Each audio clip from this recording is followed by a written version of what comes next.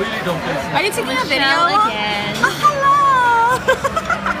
It's like pitch black. I can't even see that. Can't even see Look at my face. Yeah, Is that super bright? yeah. Okay, okay, so we're in Cheesecake Factory. Don't be rude. I'm gonna turn this off until our food comes. Bye. okay, so we just received our appetizer. We got spinach and artichoke. No, wait, just spinach dip, spinach dip. And this is one of Felix and my favorites. It is avocado, zucchini, and portobello fried goodness. And here, of course, Michelle will be the first to dig in. Oh wait, no. Camera eats first. Camera eats first. We all understand. So I've got here the luau salad. This is Michelle. And they got the Louisiana pasta. And they've got the garlic noodle chicken. Good morning.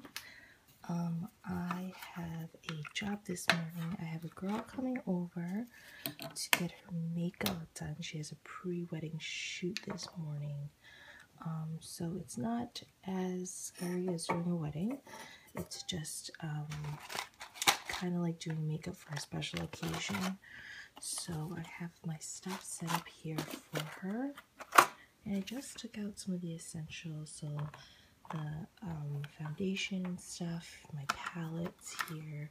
I had a MAC one, and I'm going to use the Diva Makeup one because it's actually fantastic. It has great matte shadows. Her biggest concern was contouring and looking fabulastic. So I have two contouring kits for her to try. Um, and so now I'm just waiting for her to get here. So I'm so tired. It's like 5:45 right now. So hopefully this will be done in about an hour and a half after I do her ma- hair and makeup, and then I go back to sleep. But happy Easter! To you guys later. So right now I'm going to test this out. I really do love the Nads brands of wax. I love to use their strips and whatnot, but this one is the bikini and Brazilian wax strips. And I actually heard that these were really good because this is like hard wax rather than um, like a strip wax, um, which I just hear just is better. It doesn't hurt as much, and it's great. Uh, I've never gotten hard wax done in a salon before, but I have gotten regular waxing, and it's painful. But I wanted to kind of test this out and try it at home. So in this kit, it comes with the wax um, thing, which is in the microwave right now, and it comes with some sticks here.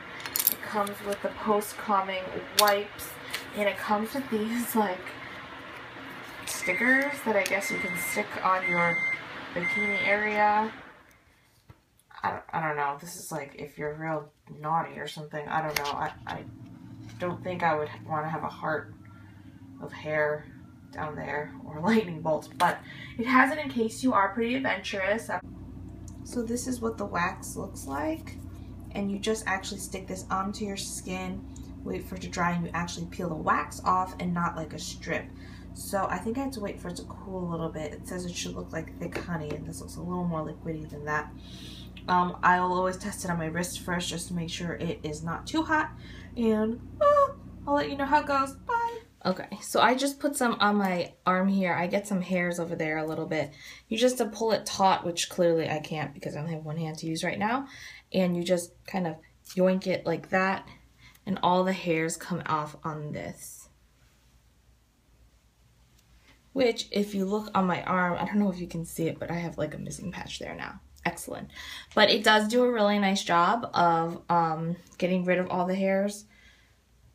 Um, and this is actually kind of cool to play with. It's kind of gross, but awesome.